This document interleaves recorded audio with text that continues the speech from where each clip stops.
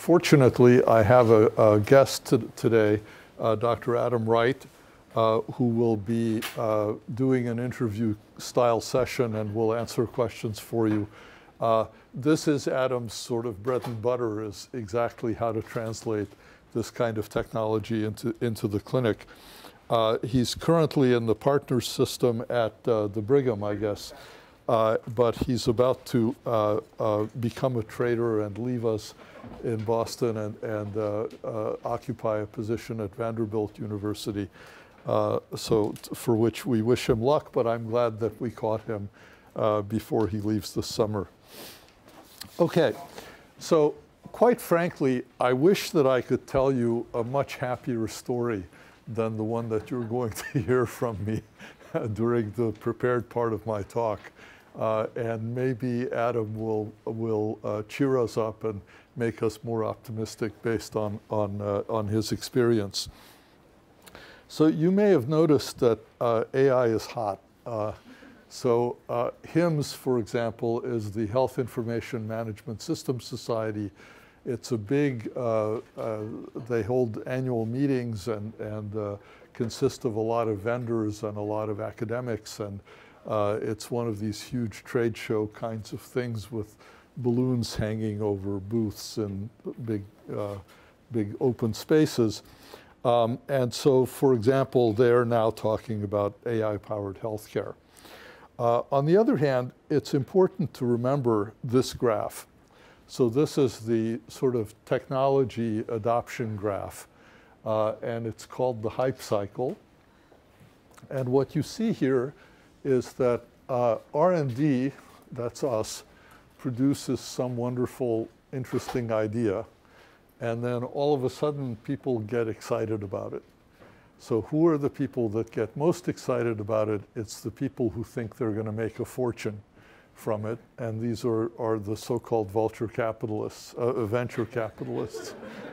uh, and so the venture capitalists come in and they encourage people like us to go out and found companies or if, if not us, then our, our students uh, to go found companies and figure out how to turn this nascent idea into some important uh, money-making enterprise. Now, the secret of venture capital is that they know that about 90% of the companies that they fund are going to tank. They're going to do very badly. And so um, as a result, what they hope for and what they expect and what the good ones actually get is that uh, that one in 10 that becomes successful makes so much money that it makes up for all of the investment that they poured into the nine out of 10 that do badly. So I actually remember uh, in the 1990s, um, I was uh, uh, helping a group pitch a company to um, Kleiner Perkins, which is the big venture, one of the big venture capital funds in Silicon Valley. And we walked into their boardroom and they had a copy of the San Jose Mercury News, which is the local uh, newspaper for uh, Silicon Valley, on their table, and they were just beaming because there was an article that said that uh, in the past year, uh, the two best and the two worst investments in Silicon Valley had been by their company, right? But that's pretty good, right? If you're if you get two winners and two really bad losers, you're making tons and tons of money. So they were in a good mood and they funded us. We didn't make them any money. Uh, um, so what you see on this curve is that there's a kind of, uh, of set of rising expectations that comes from uh, the development of these technologies. And you have some early adopters, and then you have the newspapers writing about how this is the revolution and everything will be different from here on out. Uh, and then you have uh, some additional activity beyond early adopters. And then people start looking at this and going, well, it really isn't as good as, uh, uh as it's cracked up to be. And then you have the steep decline uh, where uh, there's some consolidation and some failures. and people have to go back to venture capital to try to get more money uh, in order to keep their companies going. Uh, and then there's a kind of trough where people go, oh, well, this was another of these failed uh, kind of technological innovations. Um, and then uh, gradually you start uh, reaching what this author calls the slope of enlightenment, uh, where people realize that, okay, it's not really as bad as we thought it was when it didn't meet our lofty expectations. And then gradually, if it's successful, then you get multiple generations of the product and it does achieve adoption. The adoption almost never reaches the uh, peak that it was expected to reach at the time of the, the top of the hype cycle. Uh, but it becomes useful, it becomes profitable, it becomes productive. Now, I've been around long enough to see a number of these cycles go by. So in the 1980s, for example, uh, at a time that was now jokingly referred to as AI summer, where people were building expert systems, um, and these expert systems were going to just revolutionize everything. Um, I remember going to a conference where um, the Campbell Soup Company uh, had built an expert system that, that uh, was based on the expertise of some old timers who were retiring. And what this expert system did is it told you how to clean the vats of soup, you know, these giant million gallon things where they make soup, uh, when you're switching from making one kind of soup to another. So, you know, if you're making uh, beef consomme and you switch to making beef barley soup, you don't need to clean the vat at all. Whereas if you're switching from, uh, you know, uh, uh, something like clam chowder to a consomme, then you need to clean it really well. And so this was exactly the kind of thing that they were doing. And there were literally, literally thousands of these applications being built. And at the top of the hype cycle, uh, all kinds of companies like Campbell Soup and the airlines and everybody was investing huge amounts of money into this.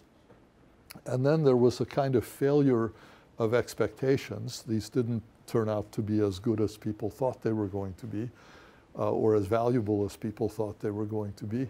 And then all of a sudden uh, came AI winter.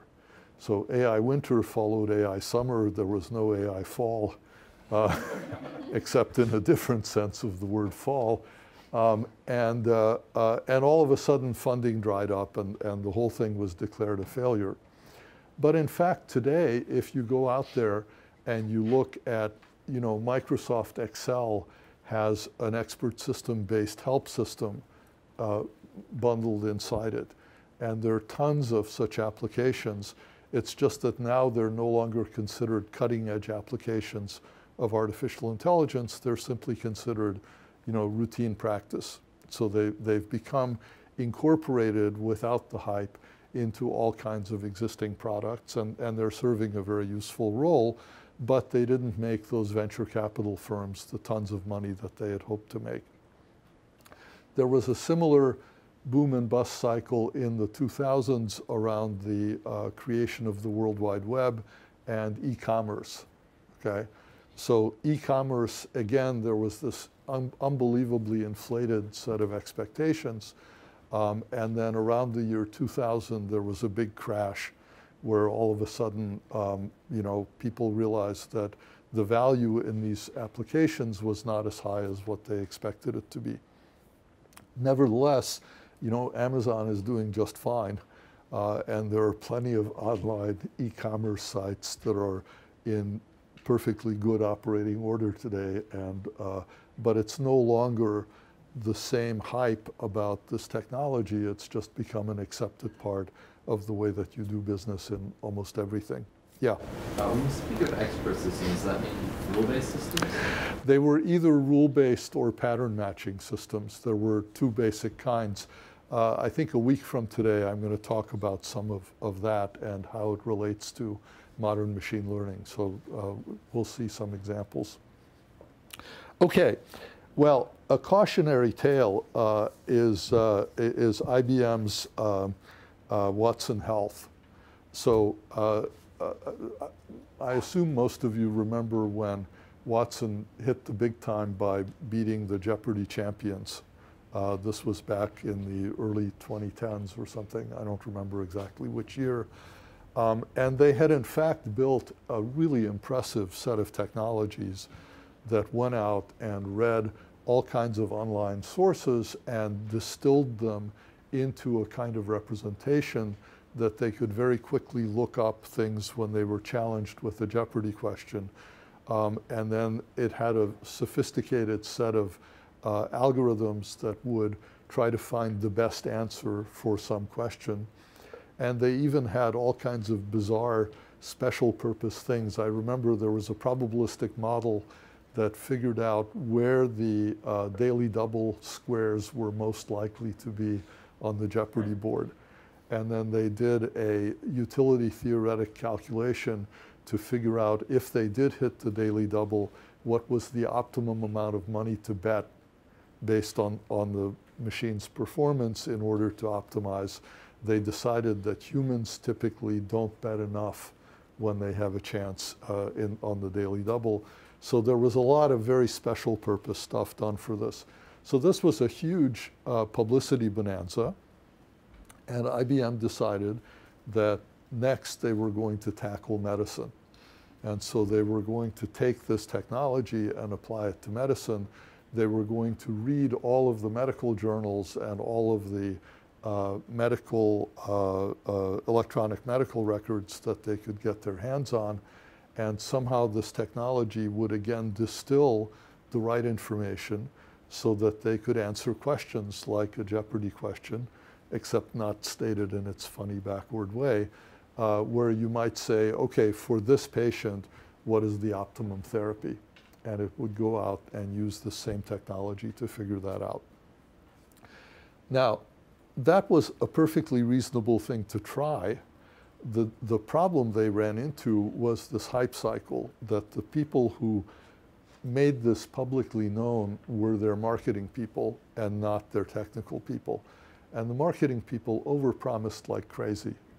Okay? They said, surely this is just going to solve all these problems and we won't need any more research in this area because, man, we got it. I, am I'm, I'm overstating it even from the marketing point of view. Uh, and so uh, Watson for Oncology used this cloud-based supercomputer to digest massive amounts of data, um, and, uh, um, and that data included all kinds of different, different things. So I'm going to go into a little bit of detail about what some of their problems were. This is from an article in, uh, in this, this journal, Stat News, uh, which did an investigative piece on, on what happened with Watson. Uh, and so, you know, they say what I just said, breathlessly promoting its signature brand. IBM sought to capture the world's imagination and quickly zeroed in on a high profile target, which was cancer. So this was going to solve the problem of uh, some patient shows up, is diagnosed with cancer, and you want to know how to treat this person. So this would use all of the literature and all of everything that it had gathered from previous treatments of previous patients and it would give you the optimal uh, solution. Now, it has not been a success. There are a few dozen hospitals that have adopted the system, very few of them in the United States, more of them abroad. Um, and um, uh, the foreigners complain that its advice is biased toward American patients and American approaches. Uh, to me, the biggest problem is that they haven't actually published anything that validates in a scientific sense that this is a good idea, that it's getting the right answers. Uh, and my guess is the reason for this is because it's not getting the right answers a lot of the time. Uh, but that doesn't prevent marketing from, uh, from selling it. Um, the other problem is that they made a deal with Memorial Sloan Kettering, which is one of the leading cancer hospitals in the country, to say, we're going to work with you guys and, and your oncologists in order to figure out what really is the right answer. And so I think they tried to do what their marketing says that they're doing, which is to really derive the right answer from reading all of the literature and looking at past cases. But I don't think that worked well enough. And so what they wound up doing is turning to real oncologists saying, what would you do under these circumstances? And so what they wound up building is something like a rule-based system that says if you see the following symptoms and you have the following genetic defects, then this is the right treatment. Okay, and so the promise that this was going to be a machine learning system that revolutionized cancer care by finding the optimal treatment really is not what they, what they provided. Uh, and as the article says, the system doesn't really create new knowledge. And so it, it's AI only in the sense of um, providing a search engine that um, when it makes a recommendation can point you to articles that are uh, a reasonable reflection of what it's recommending. Um, well, I, am going to stop going through this litany, but you'll see it in, uh, uh, in the slides, which we'll post. Um, they had a big contract with MD Anderson, which is another leading cancer center in the United States. MD Anderson uh, spent about $60 million uh, on this contract implementing it, and they pulled the plug on it because they decided that it just wasn't, wasn't doing the job. Um, now, by contrast, uh, there was a much more successful uh, attempt years ago, uh, which uh, was less driven by marketing and more driven by medical need. And the idea here was CPOE stands for Computerized Physician Order Entry. The idea behind CPOE was that um, if you want to affect the behavior of clinicians in ordering tests or drugs or procedures, what you want to do is to make sure that they are interacting with the computer so that when they order, for example, some insanely expensive drug, um, the system can come back and say, hey, do you realize that there's a drug that costs one one hundredth as much, which according to the clinical trials that we have on record is just as effective as the one that you've ordered. And so, for example, here at the Beth Israel many years ago, uh, they implemented a system like that, and in the first year, they showed that they saved something like $16 million in the pharmacy just by ordering cheaper variants of drugs that uh, could have been very expensive. And they also found that the doctors who were do doing the ordering were perfectly satisfied with that because they just didn't know how expensive these drugs were. You know, that's not one of the things that they pay attention to. Um, so th there are many uh, applications like that that are, are uh, uh, driven by this. And again, here are some statistics. You can reduce error rates by half. You can reduce uh, severe uh, medication errors by 88%. Uh, you can have a 70% reduction in antibiotic-related adverse drug events. Uh, you can reduce length of stay, which is a, another big goal that people go after. Um, and um, uh, at least if you're an optimist, you can believe these extrapolations that say, well, we could prevent 3 million adverse drug events uh, at uh, uh, big city hospitals in the United States if everybody used systems like this. Um, so the benefits are that it prompts uh, uh, with warnings against possible drug interactions, allergies, or overdoses. Uh, it, it, can be kept up to date by some sort of mechanism where people read the literature and, and keep updating the databases that this is driven from. Um, and, uh, uh, you know, it can do sort of mechanical things like eliminate confusion about drug names that sound similar and stuff like that. Uh, and so the Leapfrog group, which does a lot of meta-analyses and studies of what's effective, really is behind this and, and pushing it very strongly. Um, potential future benefits, of course, are that if the kinds of machine learning techniques that we talk about uh, become widely used, then these systems can be updated automatically rather than by manual review. And you can gain the advantages of uh, immediate feedback as new information becomes available. Um, now, the adoption of CPOE was um, uh, recommended by the National Academy of Medicine Uh, they wanted every hospital to use this by, by 1999. Uh, and of course, it hasn't happened. So I couldn't find current data, but uh, 2014 data shows that CPOE, for example, for medication orders, is only being used in about 25% of the hospitals. And uh, at that time, people were extrapolating and saying, well, it's not going to reach 80% penetration until the year 2029. So it's a very slow adoption cycle, right? Maybe it's gotten better. Um, the other problem, and one of the reasons for resistance, is that uh, it puts additional stresses on people. So, for example, um, this is a study of how pharmacists spend their time. And so uh, clinical, uh, clinical time is useful. That's when they're consulting with doctors, helping them figure out appropriate dosage for patients, or they're talking to patients, explaining to them how to take their medications, what side effects to watch out for, et cetera. These distributive tasks, it's a funny term, uh, mean the non-clinical part of what they're doing. Um, and what you see is that hospitals that have adopted CPOE, uh, they wind up spending a little bit more time on the distributive tasks and a little bit less time on the clinical tasks, which is probably not in the right direction in terms of, of what pharmacists were hoping for uh, out of systems like this. Now, people have studied the diffusion of new medical technologies, um, and uh, uh, I, I, think I'll just show you the graph. So this is, uh, this is in England, uh, but this is the adoption for statins.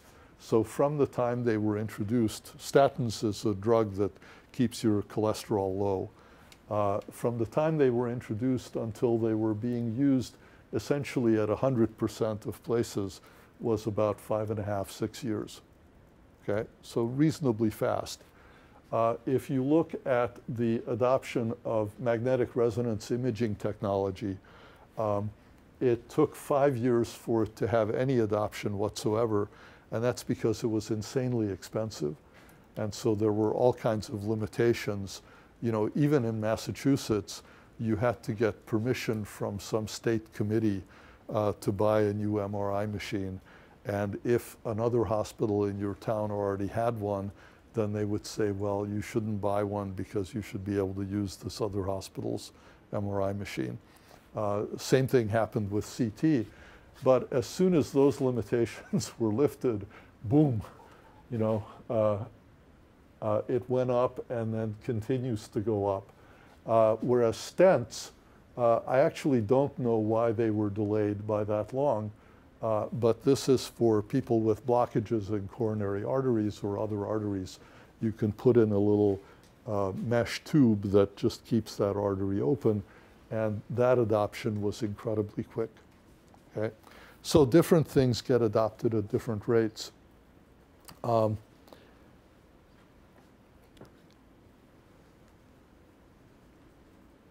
now, the last topic I want to talk about before I, yeah.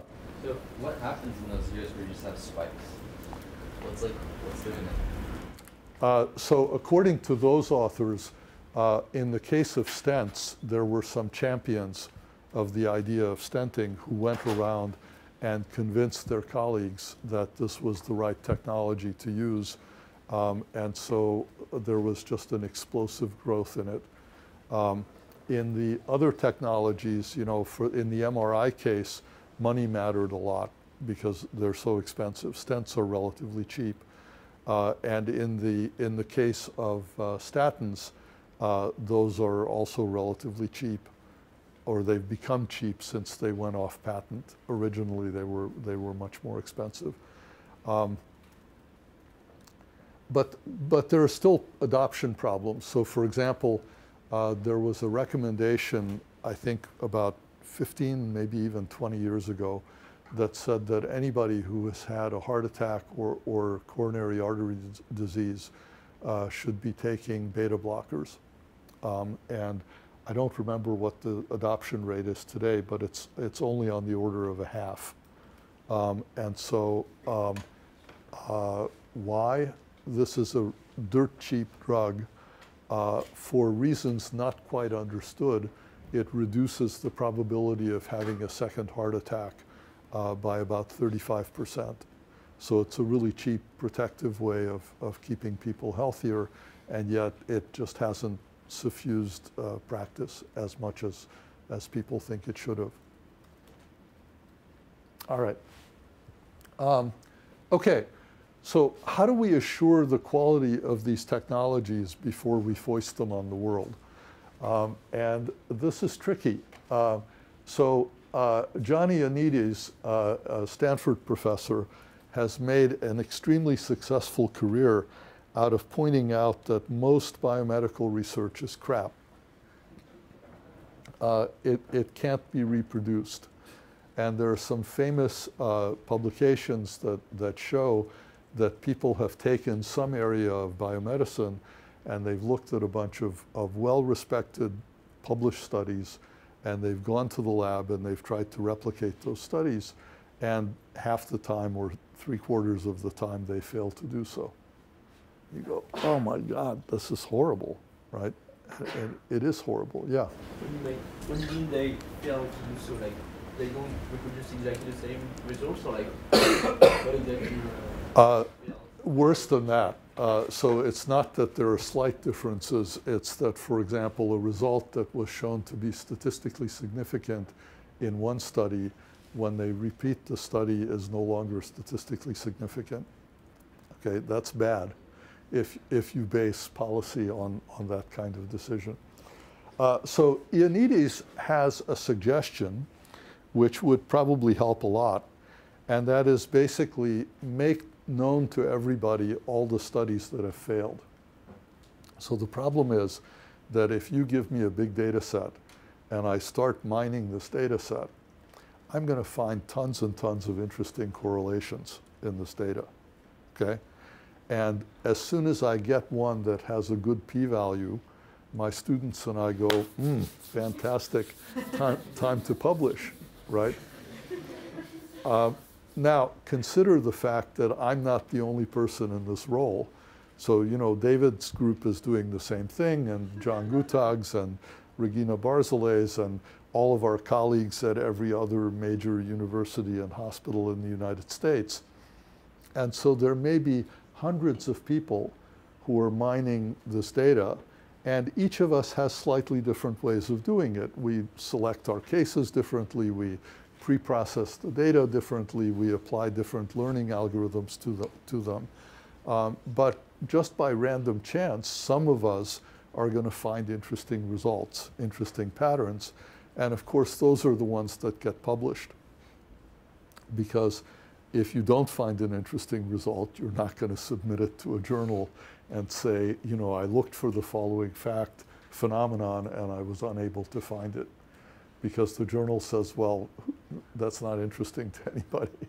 and so, um, so Ioannidis is recommending that uh, basically every study that anybody undertakes should be registered. And if you don't get a significant result, that should be known. And this would allow us to make at least some reasonable estimate of whether the significant results that were gotten are just the statistical outliers that happen to reach p equal 0.05 or whatever your threshold is, or whether uh, it's a real effect because not that many people have been trying this. Yeah. Just to understand why you think this is due. Is it because of like the size of some cohort of patients, or like bias in the dataset, or just purely randomness in like the study? It, it could be any of those. It, it could be that you know your hospital has some biased data collection, and so you find an effect. My hospital doesn't, and so I don't find it. Uh, it could be that we just randomly subsampled a different sample of the population. Okay. Um, so it's very interesting. Last year I was invited to a meeting by Jeff Drazen, who's the uh, uh, executive editor of the New England Journal, and he's thinking about, has not decided, but he's thinking about a policy for the New England Journal, which is like the top medical journal, uh, that says that he will not publish any result unless it's been replicated on, on two independent data sets right? So that's interesting, and that's an attempt to fight back against this problem. It's a different solution than what, uh, what Ioannidis is recommending. Uh, so this was uh a study by Enrico Coiera, uh, and uh, he's talking about what it means to replicate. And again, I'm not going to go through all this, but there's a notion of replication might mean exact replication, i.e. you do exactly the same thing on exactly the same kind of data, but in a different data set.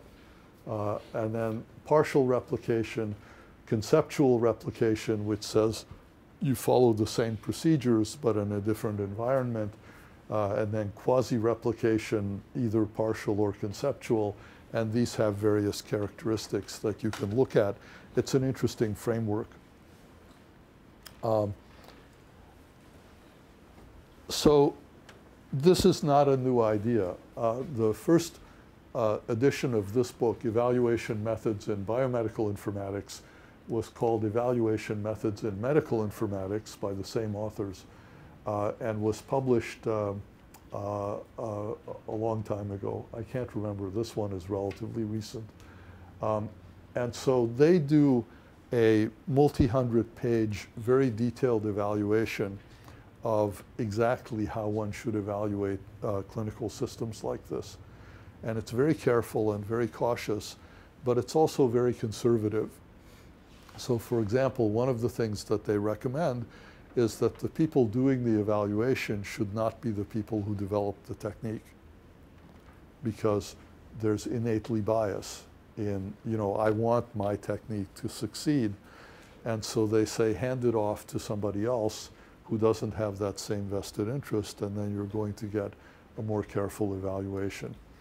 Um, so uh, Steve Pauker and I wrote a response to one of their early papers uh, recommending this uh, that said, well, that's so conservative that it sort of throws the baby out with the bathwater. Because if you make it so difficult to do an evaluation, you'll never get anything past it.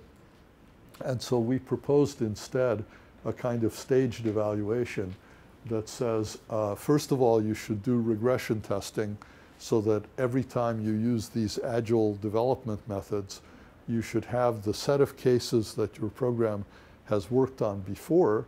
You should automatically rerun them and see which ones you've made better and which ones you've made worse. And that'll give you some insight into whether what you're doing is reasonable.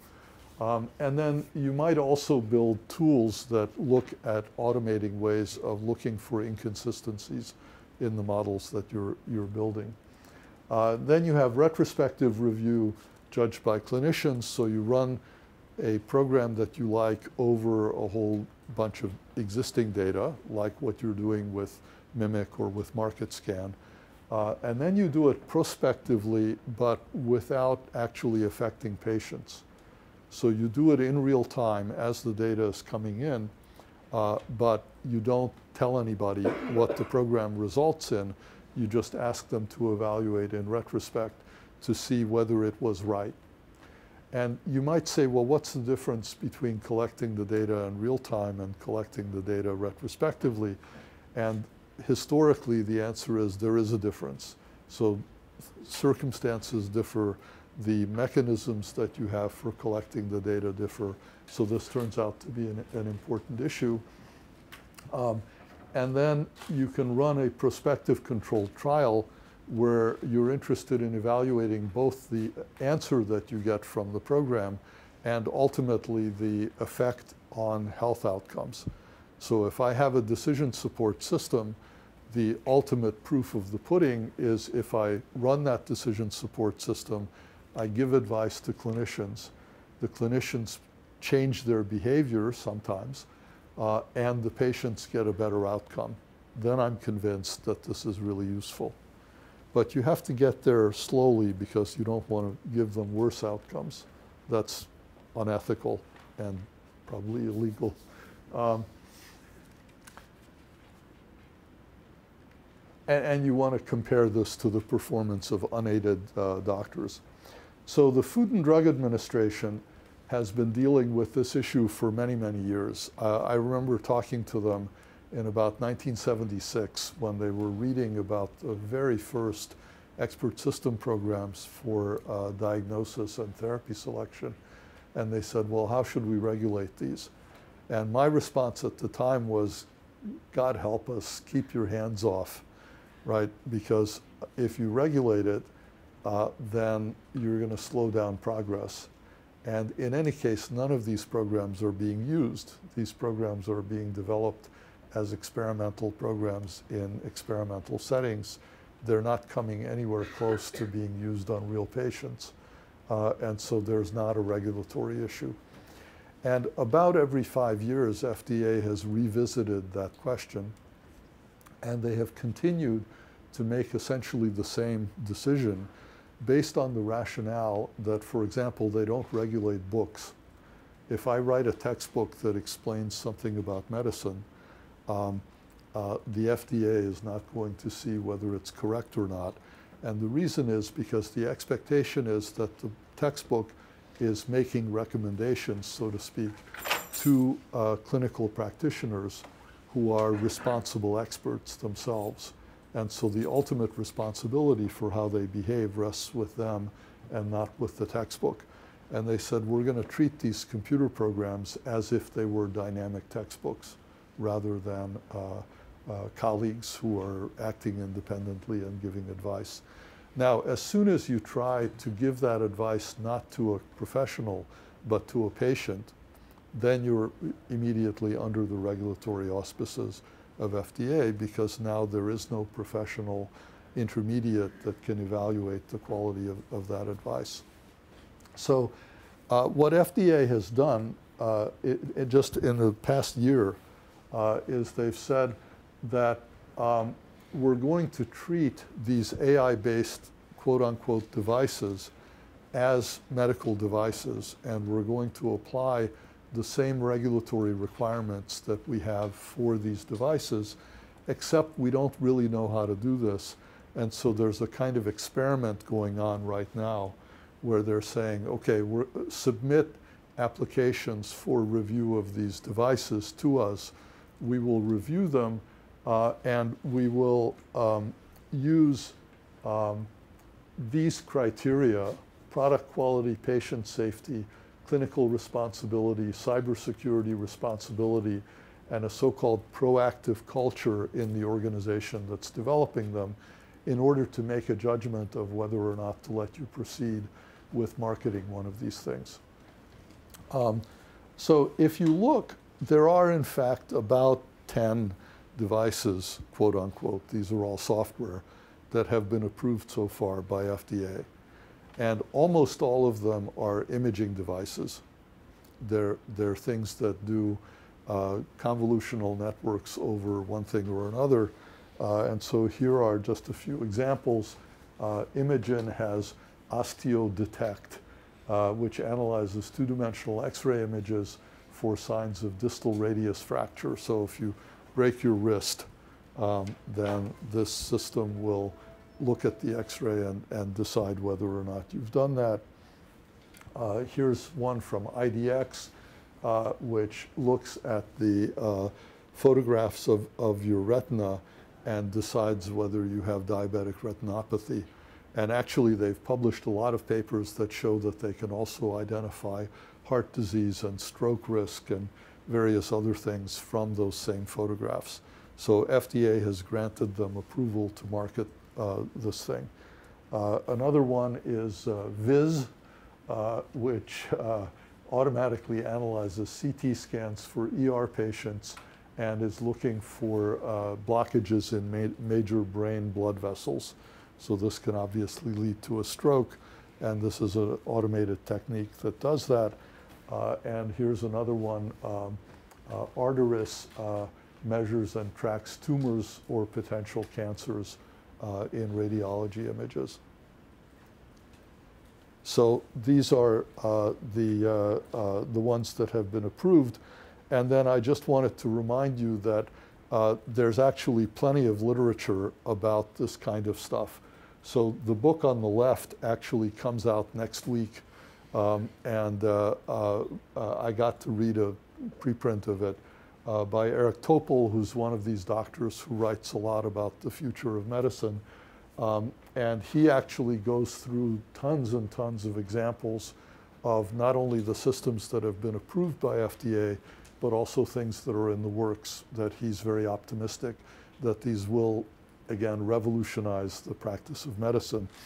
Uh, Bob Wachter, who wrote the book on the left uh, a couple of years ago, uh, is a little bit more cautious because he's chief of medicine at UC San Francisco, and he wrote this book in response to uh, them almost killing a kid by giving him a 39x overdose of uh, a medication. They didn't quite succeed in killing the kid, so it turned out okay. Uh, but he was really concerned about how this wonderful technology led to such a disastrous outcome. And so he spent a year studying how these systems are being used and write some more cautionary tale. Okay, so let me turn to Adam, uh, who, uh, as I said, is, is a professor at, uh, at the Brigham and Harvard Medical School. Uh, and please come and join me, um, and we can uh, have a conversation. So my name is Adam Wright. I'm an associate professor of medicine at Harvard Medical School. In that role, I uh, lead a research program and I teach the Introduction to Biomedical Informatics uh, courses at the medical school. So if you're interested in the topics that, that Pete was talking about today, you should definitely consider cross-registering in BMI 701 or 702 at uh, the medical school. We certainly uh, always uh, could use a few more enthusiastic, uh, technically minded machine learning experts in our, in our course. Um, and then uh, I have a uh, sort of operational job at Partners. Uh, Partners is the health system that includes Mass General Hospital and the Brigham and then uh, some community hospitals. And uh, I uh, work on Partners eCare, which is our kind of cool brand name for, for Epic. so Epic is a, EHR that we use at Partners. And I help oversee the clinical decision support there. So we have a decision support team. I'm the clinical lead for monitoring and evaluation. And so I help make sure that our decision support systems of the, the type that Pete's talking about work correctly. So that's my, my job at the Brigham and the Partners. Cool. And, and I appreciate it very much. Thanks, and I appreciate um, the invitation. It's fun to be here. Uh, so, Adam, uh, first obvious question is so what kind of decision support systems have you guys actually yeah, put in place absolutely so i, I mean uh, you know uh, we've had a long history at the brigham and partners of using decision support um, historically we developed our own electronic health record uh, which was a little bit unusual. Um, about three years ago we switched from our self-developed system to Epic, uh, which is a very widely used uh, commercial electronic health record. And uh, to, to, the point that you gave, we really started with a lot of medication-related decision support. So that's things like drug interaction alerting. So you prescribe two drugs that might interact with each other, and we use a table, you know, no, no machine learning or anything particularly complicated, that says we think this drug might interact with this. We raise an alert to the doctor or to the pharmacist, and they make a decision uh, using their expertise as, as the learned intermediary but we're going to continue with that prescription. Also have some dosing support, allergy checking, and, and things things like that. So our first kind of set of decision support really was around medications. And then we turned to kind of a broader set of things like preventive care reminders, so identifying patients that are overdue for a mammogram or a pap smear, or that might benefit from a statin or something like that, uh, or a beta blocker in the case of, of acute uh, myocardial infarction. And uh, we make suggestions to the doctor or to other members of the care team to, to do those things. Again, those historically have largely been rule-based. So mm -hmm. some mm-hmm. experts sat down and wrote Boolean if-then rules uh, using variables that, that, are in a patient's chart. We have uh, increasingly, though, started uh, trying to use some predictive models for things like readmission or uh, whether a patient is at risk of falling down in the hospital. Um, a big problem that patients often encounter is they're in the hospital, you know, they're kind of delirious, the hospital's a weird place, it's dark, they get up to go to the bathroom, they trip on their, you know, IV uh, tubing, and then they, they fall and are injured. And so we would like to prevent that from happening because that's obviously uh, kind of a bad thing to happen to you once you're in the hospital. And so we have some machine learning-based tools for predicting patients that are at risk for falls. And then there's a set of you know interventions like putting the bed rails up or putting an alarm that buzzes when they're uh, if they get out of bed, or in more extreme cases, having a, a, sitter like a person who actually sits in the room with them and uh, tries to keep them from getting up, or assists them to the bathroom, or calls someone who can assist them to, to the bathroom. So uh, we have increasingly started using th those uh, uh, machine learning tools, some of which we get from third parties, like from our electronic health record vendor, and some of which we sort of train ourselves on, on our own data. Uh, but th that's a newer uh, pursuit for us, is this machine learning. So when you have something like a risk model, how yeah. do you decide where to set the threshold? You yeah. know, if, if I'm at uh, 53% Right. risk of, of falling. Yeah. Should you get a sitter to sit by my bedside? It's it's complicated, right? I mean, I would like to say that what we do is sort of a full kind of you know utility analysis, right? Where we say we pay a sitter this much per hour, and the risk of falling is this much, and the cost of a fall. You know, most patients who fall aren't hurt, uh, but but some are, and so uh, you would sort of calculate the um, you know the cost benefit of each of those things, and you know sort of figure out where on the ROC curve you want to put, place yourself. Um, in practice, I think we often uh, just play it by by ear, uh, in part because a lot of our our things are intended to be suggestions, right? So so our threshold for saying to the doctor, "Hey, this patient is at elevated risk for fall. Consider doing something," is pretty low. Uh, if the system were say automatically ordering a sitter, uh, we, we might set it higher. I would say that's an area of of research. I would also say that that uh, one challenge we have is we often set and forget these kinds of systems, right? And so there, there's you know kind of feature drift and patients change over time. We probably should do a better job of then looking back to see how well they're actually working and uh, making tweaks to, to the thresholds. Really good Uh, question. But these are, of course, very complicated Yeah, decisions. Um, absolutely. I, I remember uh, uh, 50 years ago talking to some people in the Air Force Yeah. About uh, how much should, should they invest, invest in safety measures. Right. And, and they had a, a, a utility theoretic model Yeah. that said, uh, okay, uh, how much does it cost to replace a pilot if you kill him? Yeah. Yikes. Yeah. Yeah. And th- this was not publicized a Yeah. lot.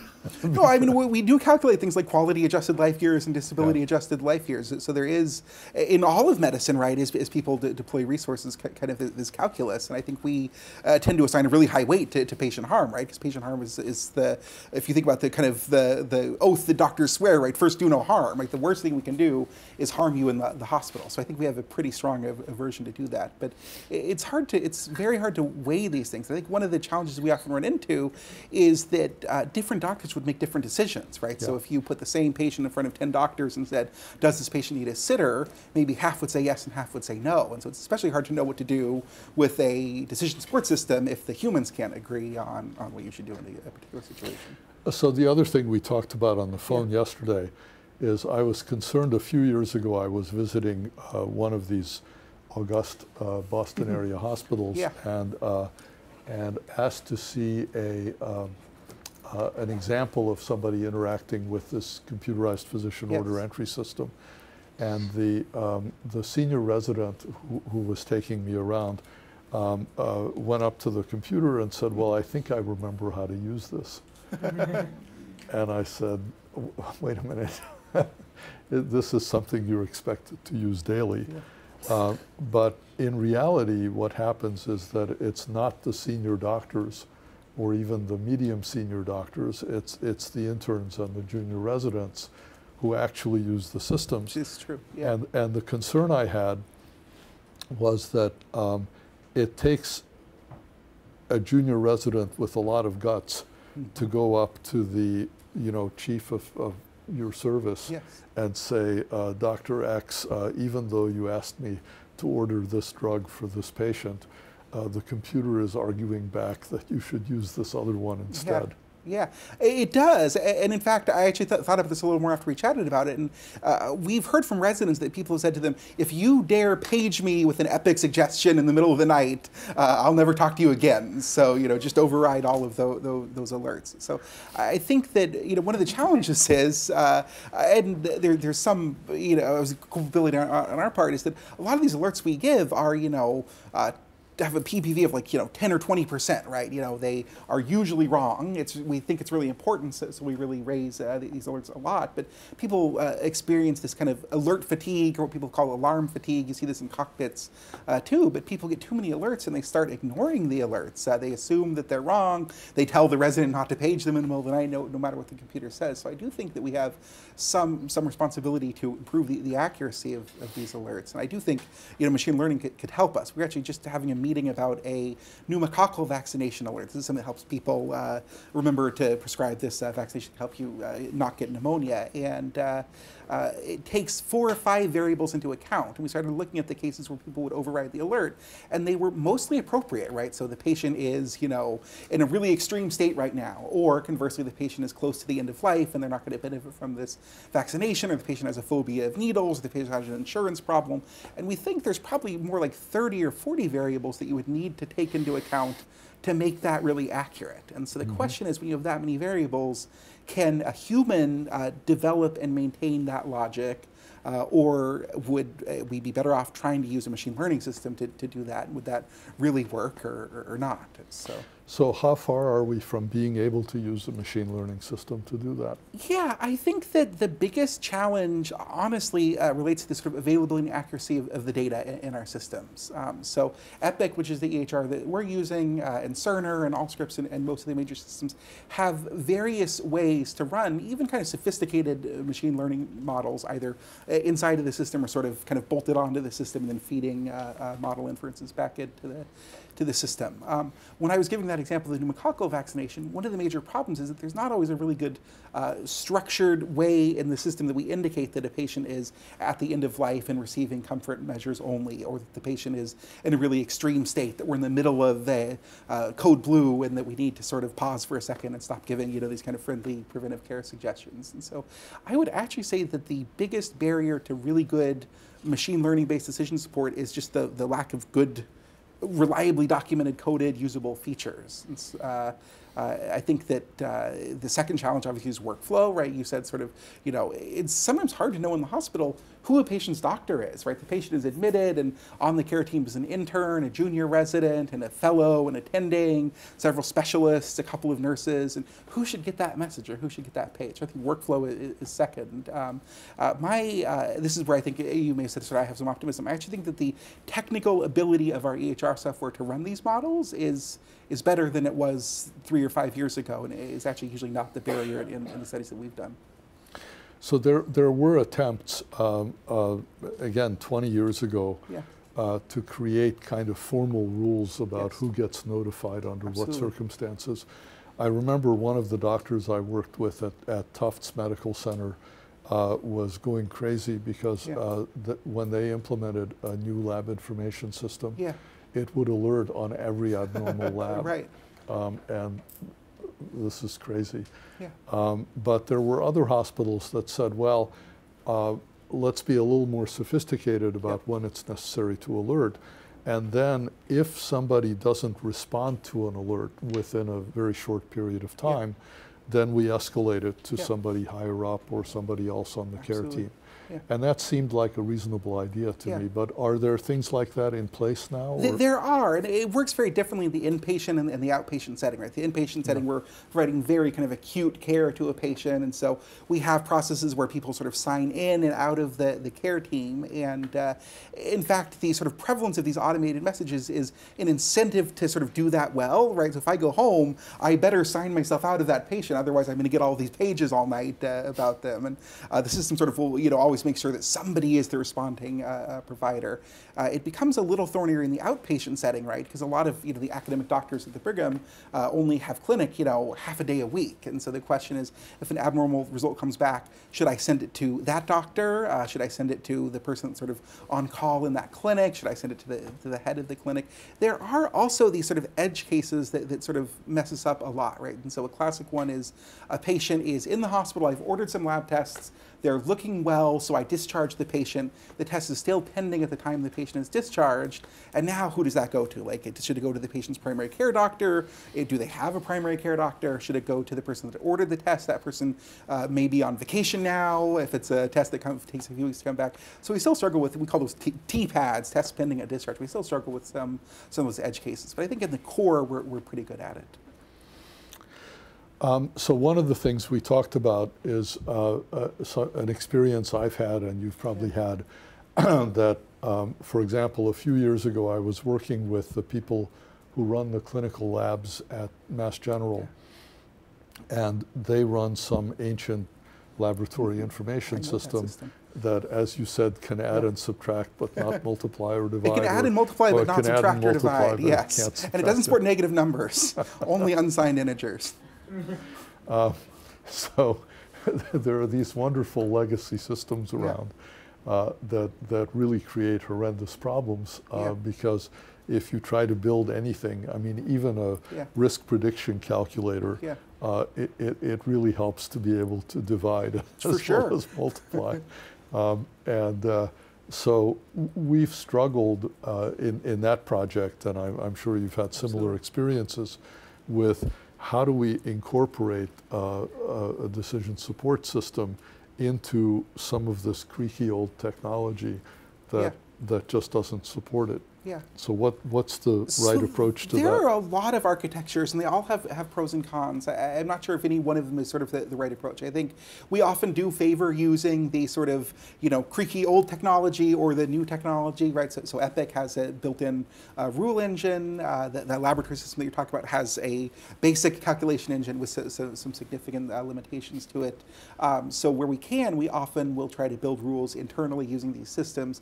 Those tend to sort of have real-time availability of data, the best ability to sort of push alerts to the person right in their workflow and make tho- those alerts actionable. Um, in cases where we can't do that, like for example, a model that's too complex to execute in the system, uh, one thing that we've often done is uh, sort of run that model against our data warehouse. So we have a data warehouse that extracts the data from the electronic health record every night at midnight. And so if we don't need real-time data, it's possible to uh, run, extract the data, run a model, and then actually write a risk score or a flag back into the patient's record that can then be shown to the uh, clinician or used to drive an alert or something like that. That works uh, really well, uh, except uh, that uh, a lot of things that happen, particularly in patient setting, uh, like predicting sepsis, depend on real-time data, data that we need right away. And so we run into the challenge where that particular approach only works, you know, kind of on a 24-hour kind of retrospective basis. Um, we have also developed systems uh, that uh, sort of depend on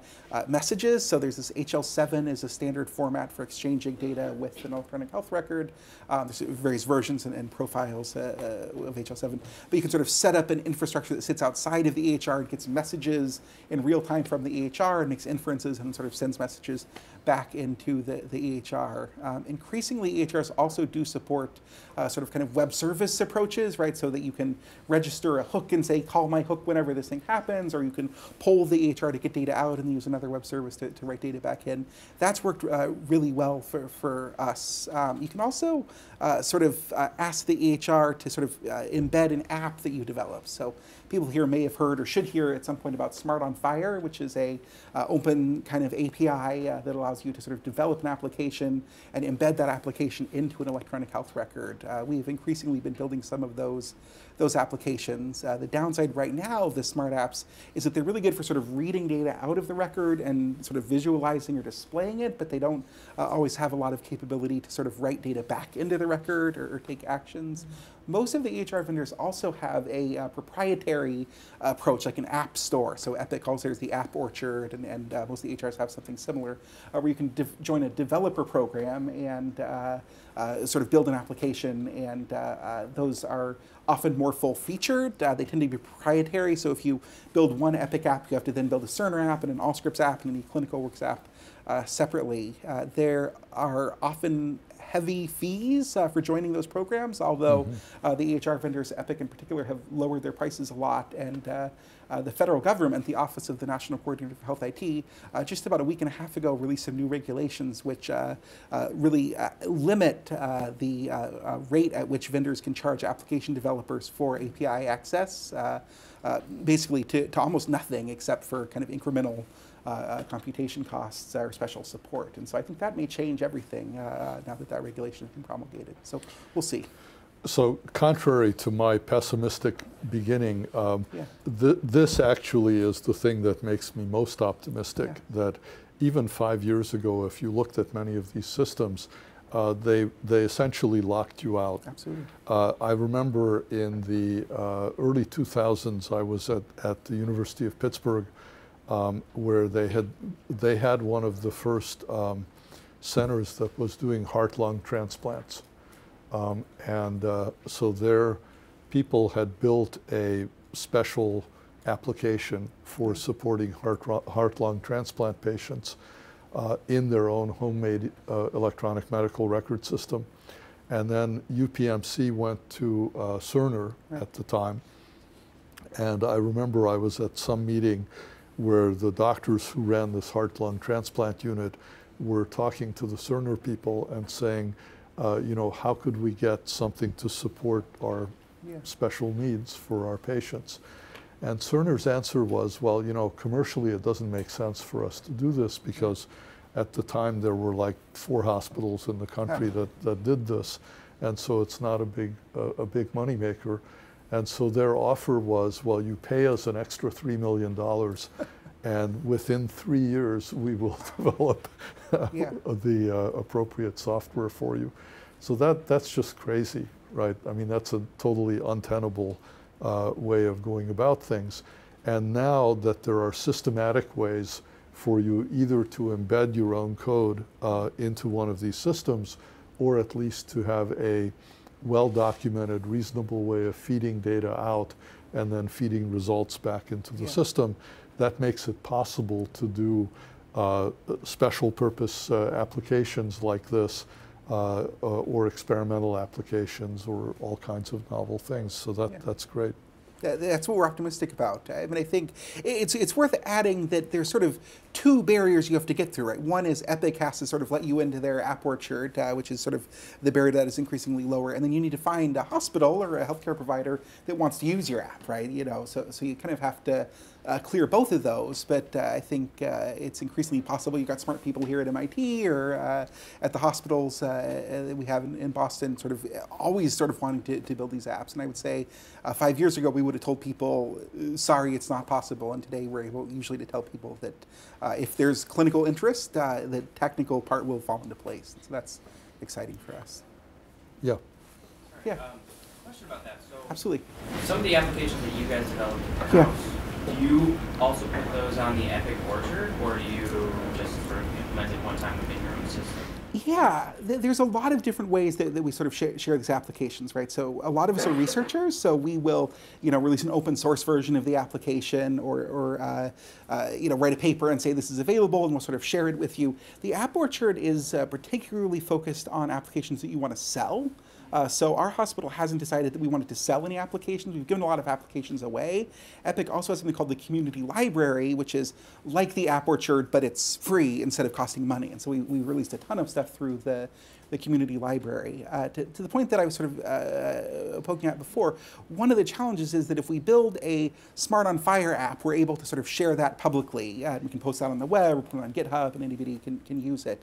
Um, Epic uh, has uh, a position that their uh, APIs uh, are uh, proprietary and they represent Epic's valuable intellectual property or, or trade secrets. And so uh, we're only allowed to share uh, those apps through the, the Epic ecosystem. And so uh, we often now, when we get a grant, most of my work is, is, through grants, we'll have an Epic site and we'll share that through the community library, and we'll have a Cerner site and we'll share it through Cerner's uh, equivalent. But I think until the uh, capability of the open APIs like SMART on FHIR uh, reaches the same level as the proprietary APIs, we're still somewhat locked into having to build different versions and distribute through each, each EHR vendor separate channels. Really, really good question.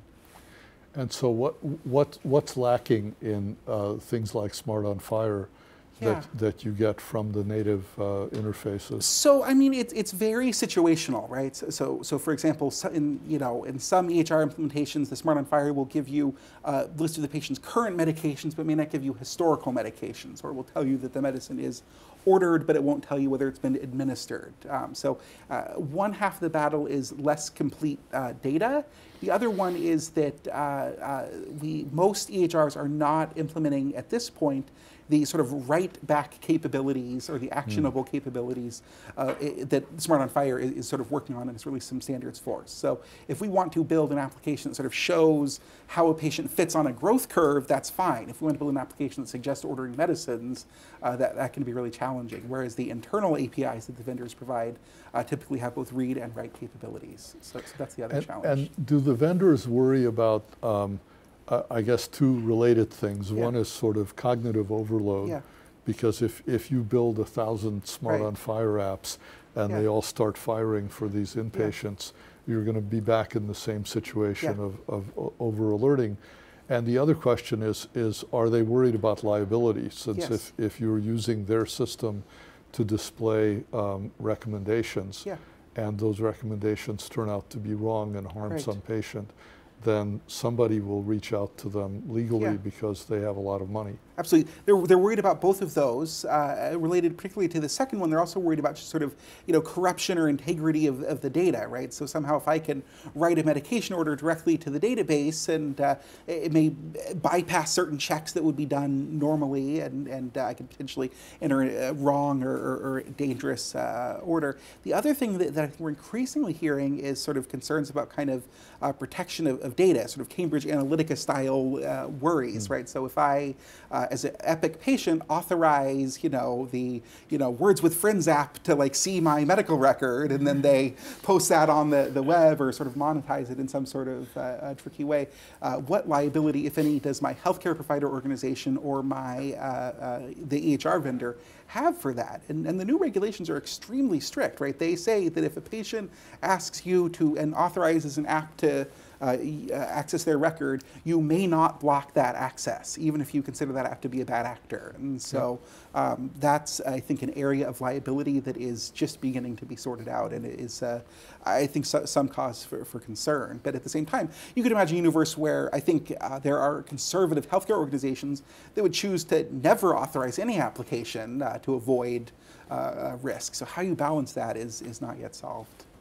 Well, or, or- and to avoid leakage. So I, I remember uh, years ago uh, there was a lot of reluctance, uh, even among Boston area hospitals, Yeah. to share data because Sure. they were worried that another hospital could cherry pick their most lucrative patients by figuring out uh, something about them. Yeah. So I'm sure that that hasn't gone away as a Absolutely, concern. yeah. Um, okay, um, we're going to try to remember to repeat the questions you're asking, Oh, so that Okay. uh, uh, because of the recording. Happy to. Uh, yeah. So how does a third-party vendor uh, Yeah. deploy like a machine learning model on Yeah. your system? So is Yeah. that done through Epic? Or, like obviously there's Yeah. an at work Orchard kind of thing, Yep. but i is there ways to go around that and go directly into partners and whatnot? And how's that work? Yeah, so, so the question is how does a third party vendor deploy an application or a machine learning model or something like that? And so uh, with Epic, uh, there's uh, always a relationship between the uh, vendor of the application and the healthcare provider organization. And so uh, we could work together directly. So if you had an app that the Brigham wanted to use, uh, you could uh, share uh, that app uh, with us in a, a number of ways. So Epic supports this, this thing called predictive modeling markup language or PMML. So if you train a model, you can export a PMML model and I can import it into Epic and, and run it natively, or you can produce a web service that I call out to and sort of gives me an answer. We could work together directly. Uh, uh, however, um, there are some limitations in what I'm allowed to sort of tell you or share with you about Epic's data model and Epic, what Epic perceives to be their, their intellectual property. And so um, it is uh, facilitated by you joining this program. Because if you join this program, you get access to documentation that you would otherwise not have access to. You may get access to a test harness or a test system that lets you sort of validate your work. However, people who join the program often think that means that I can then just run my app at every customer, right? But with Epic in particular, you have to then make a deal with me to use it at the Brigham and make a deal with you know my colleague to use it at Stanford. Uh, uh, other EHR vendors have developed a more sort of centralized model where you can actually sort of release it and sell it, and I can pay for it directly through through the App Store and, and integrate it. I think that last mile piece hasn't really been standardized yet. I guess one of my questions there Yeah. is what happens in the case that I don't want to talk to Epic at all? Yeah. And just like uh, I looked at your data and Yep. just like Brigham and Women's stuff Yep. and, and I built a really good model. You saw Yeah. it works. Yep. And we just want to like deploy it. Epic would not stop us fr- from doing that. Uh, the, the only real restriction is that Epic would limit my ability to tell you stuff about Epic's guts, and so uh, you would need a relatively sophisticated healthcare uh, provider organization who could map between some sort of kind of platonic data, clinical data model and Epic's internal data model. But if you had that, uh, uh, you could. And I mean, at the Brigham, we have this iHub innovation program, and we're probably working with uh, 50 to 100 startups of doing work like that. Some of whom are members of the Epic App and some whom choose not to be members of the, the Epic Orchard. It's worth saying that joining the App Orchard or these programs entails revenue sharing with Epic and, and some complexity. That may go way down with these new regulations, but right now some organizations have chosen not to not to partner with the vendors and work directly with the healthcare provider organizations. So on the quality side of that Yeah. question, if you do develop an application Yes, and sir. field it at the Brigham, um, will, the, will Stanford be interested in, in taking it, or are they going to be concerned about the fact that somehow you fit it to the patient population in Boston and it won't be appropriate to their data? Yeah, I think that's a fundamental question, right? Is to what extent uh, do these models generalize, right? Can you uh, train a model at one place and transfer it to, to another place? I, we've generally seen that uh, many of them transfer pretty well, right? So if they really uh, have more to do with kind of core human physiology, that can be pretty similar between organizations. If they're sort of really bound up in a particular workflow, right? They you know they assume that you're doing this task, this task, this task in this order. They tend to transfer really really poorly. So I would say that our general approach has been to take a model that somebody has, sort of run it retrospectively on our data warehouse, and see if it's accurate. And if it is, we might go forward with it. If it's not, we would uh, try to retrain it on our data and then see how much improvement we get by, by retraining it. And so have you in fact imported such uh, models We from have, other yeah, places? yeah. We, uh, Epic uh, provides five or six models, and we, we just started using uh, so, some of them at, at the Brigham, or just kind of signed a license to, to begin using them. And uh, I think Epic's guidance and our experience is that they, they can work pretty well out, out of the box. So could you say Yeah. a little bit more about the these risk scores that are being deployed? You know, maybe they work, maybe Yeah. they don't. How, how can you really tell whether they're working? You need, even just beyond sort of like patient shift over time, just like Yeah. how people react to the scores. Like I know a lot of the bias and fairness works is like people, if a score agrees with their intuition, they'll Mhm. trust it, and if it doesn't, they ignore the score. Yeah, So like how, what does the process look like for you deploy the score Yeah. thing, and then see whether it's working? Yeah, absolutely. So, so the question is, we get a risk score, we deploy a new risk score. It says patient has risk of falling or patient has risk of having sepsis or something like that. Um, you know, we tend to do several levels of evaluation, right? So, so the first level is when we show the score, what do people do, right? If we uh, typically we don't just show a score, we make a recommendation. We say, based on the score, we think you should order a lactate to see if the patient is at risk of, of having sepsis. First, we look to see if people do what we say, right? So we think it's a good sign if people sort of follow the, the suggestions. But ultimately, you know, we view ourselves as sort of clinical trialists, right? So we deploy this model with an intent to move something, right? To reduce the rate of sepsis or to reduce the rate of mortality in sepsis. And so we would try to sort of measure, i- if nothing else, do a before and after study, right? Measure the rates before, implement this intervention, and measure the, the, the rates after. In cases where we're sort of less sure or where we really care about the results, we'll even do a randomized trial, right? So we'll give half of the units will get a, uh, the alert, half the units won't get the alert, and we'll actually compare uh, the effect on a clinical outcome and, and see what the, what the difference is. In our opinion, unless we can show sort of an effect on these clinical uh, uh, measures, uh, we shouldn't be bothering people, right? You know, Pete made this point that, you know, what's the purpose of having, you know, if we have a thousand alerts, everyone will be overwhelmed. So we should only keep alerts on if we can show that they're making a real clinical difference. And are those sort of like just internal checks, or are there papers of like some of these deployments? Uh, it's our it's our intent to publish everything, Uh-huh. right? I mean, I think we're, we're behind, but I'd say you know we, we publish everything. We off, we have some things that we finished that we haven't published yet. That they're sort of the next thing to sort of come out. Cool. Yeah. Uh, Yeah, I guess, uh, so earlier we were talking about how, um, so the models are just used to give recommendations to Yeah. the doctors. Uh, do you have any metric in terms of how often the model recommendation matches with the, uh, doctor's decision? Yeah, absolutely. So, question. Oh yeah, th- thanks, David. So the question is, do we ever check to see how often the model recommendation matches what the doctor uh, uh, does? And so there's sort of two ways we do that. We'll often retrospectively test the model back. And so I think Pete shared a paper for, from Cerner where they looked at the- these sort of suggestions that they made to order lactates or to do other sort of sepsis work stuff, and they looked to see whether uh, the recommendations that they made matched uh, what the doctors had actually done and they, they showed that they in many cases did. So that'll be the first thing that we do is before we even turn the model on, we'll run it in sort of silent mode and see if the doctor does what we suggest. Now the doctor is not a perfect supervision, right? Because the doctor may uh, neglect to do something that would be good to do. So then when we turn it on, we actually look to see whether the doctor takes the action that we uh, uh, suggested. Uh, and if we're doing it in this randomized mode, we would then look to see whether the doctor takes the action we suggested more often in the case where we show the alert than where we generate the alert but uh, sort of uh, just log it and don't don't show it. Yeah. So, So um, you you'd mentioned how there's the the sort of like kind of related to the alarm fatigue, like if it's Yeah. a code blue, like these alarms. Are Right. up. And you said that cockpits have like like like Yeah. pilots now that have similar problems. my very limited understanding of like aviation yeah. is that if you're flying like say below 10,000 feet, then like almost all yeah. the alarms get turned off. And yep. I don't know if there seems to be an analog to that for hospitals yeah. yet, and is that just because the technology workflow is not mature enough yet, only like 10 years old, or is that yeah.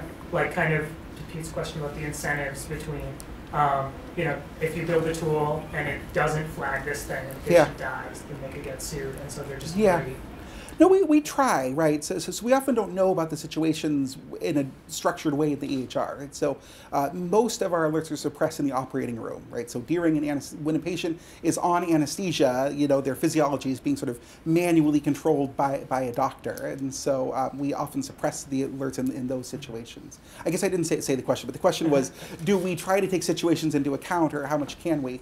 Uh, we didn't used to know that a code blue was going on because we used to do most of our code blue documentation on paper we now use this code narrator, right? So we can tell when a code blue starts, when a code blue ends. A code blue is like a cardiac arrest and resuscitation of a patient. And so we actually do increasingly turn a lot of alerting off during a, a code blue.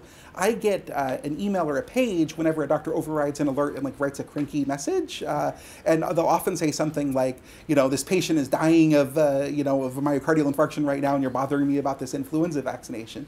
And then what I'll do is I'll go back, no, seriously, I, I got that yesterday. And so what I'll do is I'll go back and look in the record and say, what signs did I have that this patient was sort of in extremis? And uh, in that particular case, it was a patient who came into the ED and like very little documentation had been started. And so there actually were very few signs uh, that the patient was in this sort of acute state. Uh, I think, you know, someday could we be smarter about integrating monitor data and device data to, to figure that out? But at that point, we didn't have a good uh, structured data element in the chart that said this patient is like so ill that it's offensive to suggest an influenza vaccination right now. So now, there, there are hospitals that have started experimenting yeah.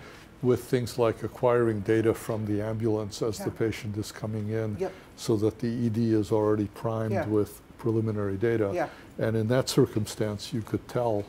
So this is the interoperability challenge, right? So we actually get uh, the run sheet, all the, the ambulance data uh, to us. It comes in as a, a, PDF that's transmitted from the ambulance uh, emergency management system to, to our EHR. And so it's not coming in in a way that we can sort of read it well. But to your, your point exactly, if we were better at interoperability, I've also talked to hospitals who, you know, use things like, you know, video cameras and people's badges, and if there's 50 people sort of hovering around a patient, that's a sign that something bad is happening. And so um, we might be able to use something like, like, like that. But uh, yeah, we're, we're, we'd like to be better at that.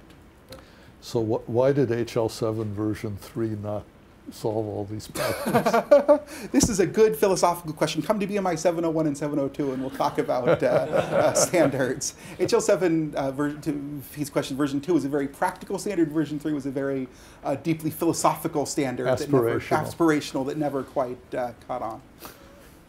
And it did in pieces. I mean, smart, uh, FHIR is a simplification of, of that. Yeah. Uh, so I think usually the machine learning models are like evaluated statistically among yes, sir. population. When it comes to a particular patient, is there a yeah. way to know how reliable the model is? Yeah, I mean, there, there, there's calibration, right? So we can say this model works particularly well in these patients or, or, not as well in these patients. There are some, you know, very simple equations or models that, that we use, for example, where we use a different model in African American patients versus, uh, uh, you know, non-African American patients, because there's some data that says that this model is better calibrated in this subgroup of patients for, versus another.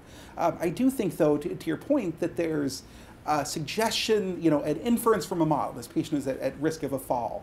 And then there's this whole set of, you know, kind of value judgments and uh, beliefs and knowledge and understanding of a patient's circumstances uh, that are very human. And I think that that's largely why we uh, deliver these suggestions to a doctor or to a nurse, and then that human uses that information plus their expertise and their relationship and their experience uh, to uh, make a suggestion rather than, than you know, just having the computer adjust the knob on, on the ventilator itself. Uh, a question that people always ask me, and you should ask me, is will we eventually not need that, that human? And I think I'm more optimistic th than some people that there are cases where the computer is good enough or the human is poor enough that it would be safe uh, to sort of have a, a close to closed uh, loop. Uh, however, I think those cases are, are not the norm. I think that there'll be more cases where, where human doctors are still very much, very much needed.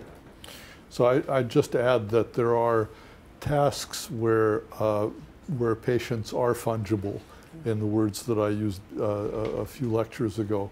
Uh, so, for example, a lot of hospitals are uh, developing models that predict whether a patient will show up for their uh, optional surgery. Uh, because then it, they can do a better job of overscheduling the operating room in the same way that the airlines over oversell seats, um, because statistically you could win doing that. Uh, those are very safe predictions because the worst thing that happens is you get delayed, but it's not going to have a harmful outcome on, on an individual patient. Yeah. And conversely, there are people that are working on machine learning systems for dosing insulin or adjusting people's ventilator settings, and uh, those are uh, high, high, are risk, high risk, uh, high yeah. risk jobs. Yeah. All right, last question because we have to wrap up.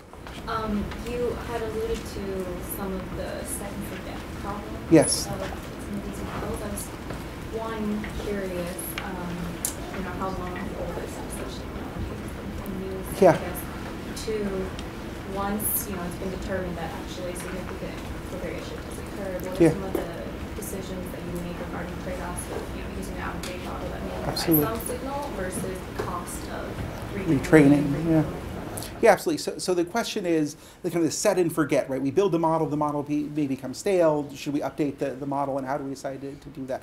I mean, we're using, you know, it depends what you define as a model. We're using tables and rules that we've developed since the, the 1970s. Um, I think uh, we have a pretty high uh, desire to sort of periodically revisit those. This problem in, in the field of practice is called knowledge management or knowledge engineering, right? How do we sort of remember which of our knowledge bases need to be sort of checked again or, or, updated? And uh, uh, we'll often, you know, just as a standard, retrain a model or reevaluate a knowledge base every six months or, or every year uh, because uh, it's uh, both harmful to patients uh, if, if this stuff is out of date, and it also makes us look stupid, right? So if you know there's a new paper that comes out and says beta blockers are terrible poison, and we keep suggesting them, then, then people no longer believe uh, the, the, the, suggestions uh, we make. Uh, that said, we still make mistakes, right? I mean, things happen all the time. Uh, a lot of my work has focused on malfunctions in these systems, and so, so as an example, you know, uh, if periodically the pharmacy might change the code or ID number for a medicine, or a new medicine might come on the market, and uh, we have to make sure to continually update the knowledge base so that we're not suggesting an old medicine or overlooking the fact that the patient's already been prescribed a, a new medicine. And so we try to do that pro prospectively or proactively, but then we also uh, try to listen to feedback from users and, and, fix things as we go. Cool. And uh, just one, one more comment on that. Uh, so some things are done in real time. Uh, there was a system many years ago at, at uh, um, Intermountain Health in Salt Lake City where they were uh, looking at what bugs were growing out of microbiology samples in the laboratory. And of course, that can change on an hour by hour or day to day basis. And so they were updating those systems that warned you about uh, the possibility of that kind of infection in real time by taking feeds directly from the laboratory. All right, thank you very much. Well, thank uh, you guys.